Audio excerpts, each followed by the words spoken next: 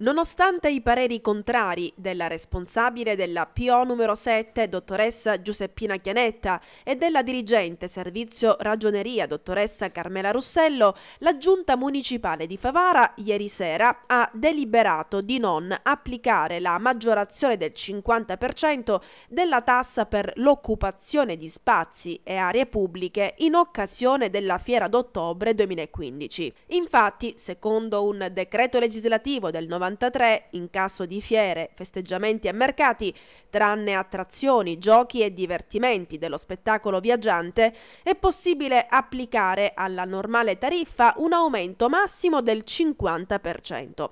A Favara fino all'anno scorso si pagava 1,15 euro al metro quadro, da maggio 2015 è stata aumentata a 4,13 euro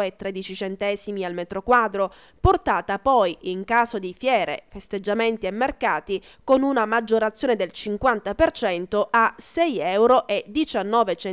di euro al metro quadro.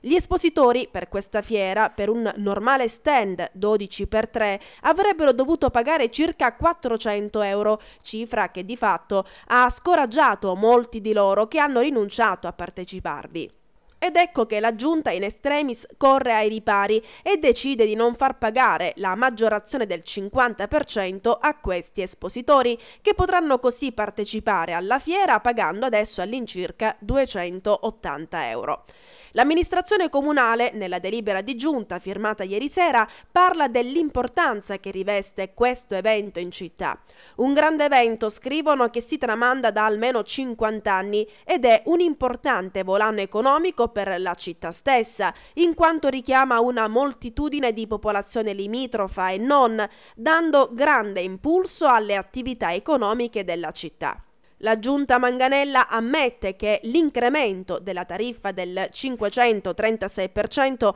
ha causato molteplici rinunce di espositori storici della fiera, con il rischio che tale evento per l'anno 2015 non potesse più svolgersi.